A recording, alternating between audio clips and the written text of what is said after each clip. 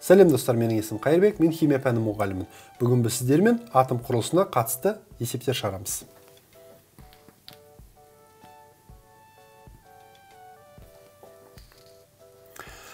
Молекула пішіні кішкентай болған сайын ол қалыпты жағдайда газ немесе сұйық күйінде кездеседі.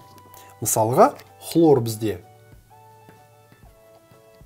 Бөлме температурасында газ ал бром сұйықтық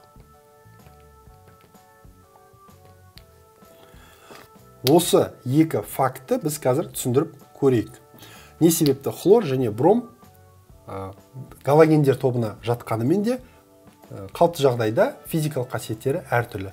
Біріншіден хлордың құрылысын молекула құрылысын қарайтын болсақ бұнда бізде екеуінің де электр бірдей алайда белгілі бір уақытта тұрақсыз диполь пайда болады. Яғни мына ортадағы жұп электрон бір атомға қарай ығысады ол ішінара теріс зарядты алады екінші атом ішінара оң зарядты алады бұл эффект келесі молекулаға әсерін береді. Яғни ішінара оң зарядталған қарай мына хлор тартыла бастайды хлор ә, ішінара минус болып екінші қасындағысы хлор дельта плюс. Дәл осындай бұл эффект бүкіл жүйедегі хлор молекулаларына әсерін беріп жалпы тұрақсыз диполь пайда болады.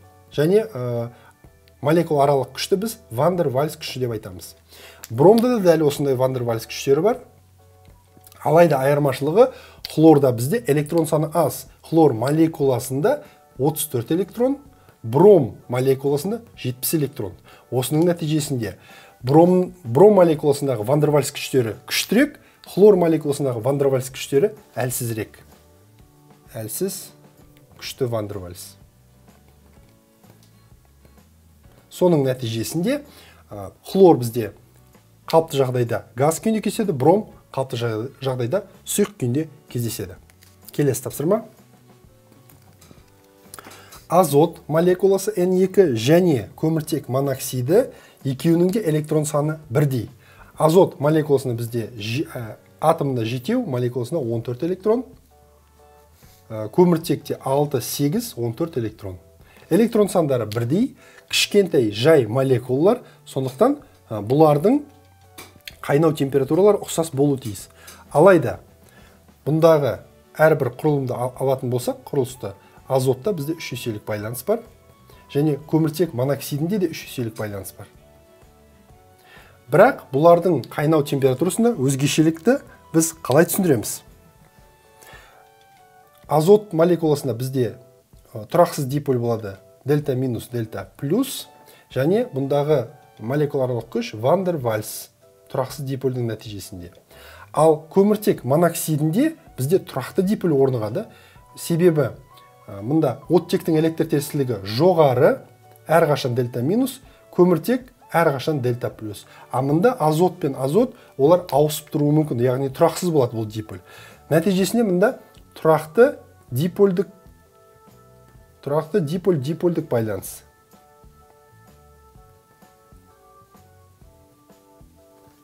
Соның нәтижесінде көміртек моноксидінің қайнау температурасы азоттан азот молекуласынан жоғарырақ болады. Келесі тапсырма. Осы көміртек моноксидінің біз нүктелер айқыштар диаграммасын салып ондағы электрондарды сипаттап көрейік. Көміртекте бізде 4 электрон алайда ә, және оттекте бізде 6 электрон.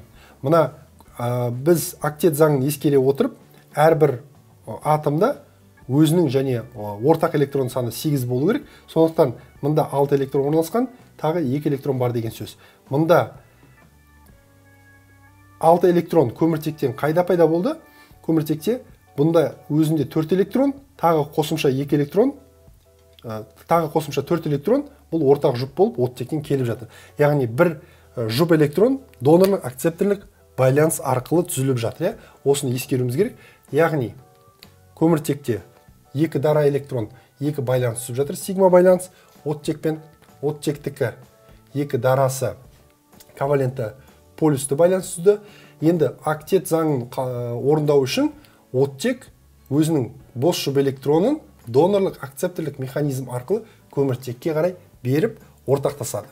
Ал оттекте өзінде тек қана бір ғана бос жұп электрондары қалады.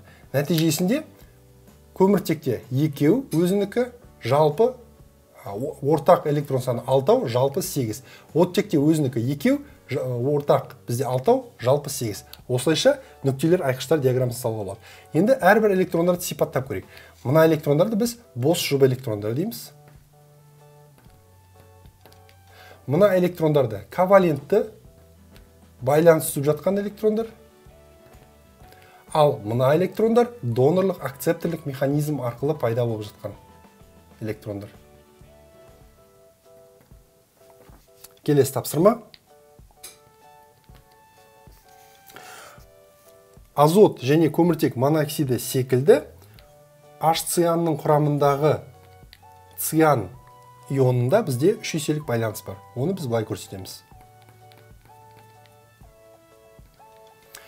Осы үш қосылысты салыстыратын болсақ циан ионымен бұндағы циан және көміртек моноксиді реакцияға өте белсенді түседі. Алайда азот молекуласы реакцияға белсенділігі төмен.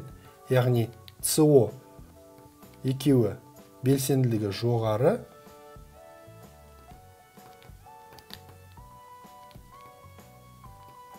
азотта бізде белсендік төмен. Бұның себебі неде? Цианда бізде азоттың әрине электр тестілігі жоғары сондықтан жалпы ортадағы байланыс полюсі бір бағытқа қарай ығысқан тұрақты полюс пайда болады. Тұрақты диполь. Ал көміртек моноксидінде де тұрақты диполь бар. Тұрақты диполь. Мында да тұрақты диполь. А мында тұрақсыз яғни вандервальс күші болғандықтан тұрақсыз диполь белсенділігі соған сәйкес төмен болады.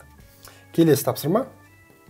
H циан бізде катализатор қатысында этанольмен реакцияға түседі. Осы реакцияны жазайық. Біздің этаноль оған H цианды қосамыз. Катализатор калий цианиді көбінесе қолданылады. Бұл реакция механизмі нуклеофильді қосылу механизмі деп аталады. Нуклеофильді қосылу. Осы механизмді жазып көрейік және нәтижесінде не болатынын қараймыз. Біріншіден этанол молекуласындағы карбонил тобына назар аударайық. Мұнда оттек электр тесттігі ең жоғары ол ішінара теріс зарядталады. Оған байланысқан көміртек ішінара оң зарядталады. Осы ішінара оң зарядталған ә, электрон тығыздығы дефицит бөлшекке яғни көміртекке H циандағы циан тобы шабуыл жасайды. Нәтижесінде аралық өнім пайда болады. Аралық өнім бізде с циан қосылды. Сутек қалды оттек қалды бірақ ә, бізде қос байланыс үзіледі. Себебі неге? Көміртек төрт валентті. Оттек пен көміртек арасында қос байланыс үзіліп бұл байланыс оттекке қарай ауысады. Оттек бізді теріс заряд алады. Бұл бізде аралық өнім. Келесі әрі қарай аралық өнімдегі оттек бізде электронға бай сондықтан ол сутекке қарай шабуыл жасайды. Нәтижесінде сутекті өзіне қосып алады. CH3 COH H циан және де мұнда циан ионы цианид ионы қайтадан қалпына келеді. Яғни катализатор бізде өзінің қалпына келтіреді концентрациясын азайтпайды. Осылайша бізде механизм нуклеофилді қосылу болып жатыр. Яғни бірінші нуклеофил шабуыл жасады. Электрон тығыздығы төмен көміртекке. Және де қос байланыс уақытша үзіліп ол сутекке шабуыл жасауға мүмкіндік алады. Аралық өніміміз бізде мынау қосылыс болып табылады. Соңында бізде соңғы өнім нәтижесінде көміртектің тізбегінің үлкейгені байқалады. Яғни цианидтің ә, реакциясының маңызы ол көміртектің тізбегін үлкейтуге арналады. Осымен бүгінгі тапсырмамыз аяқталды. Сұрақтарыңыз болса комментарийге жазыңыздар. Мен міндетті түрде жауап беремін. Сау болыңыздар.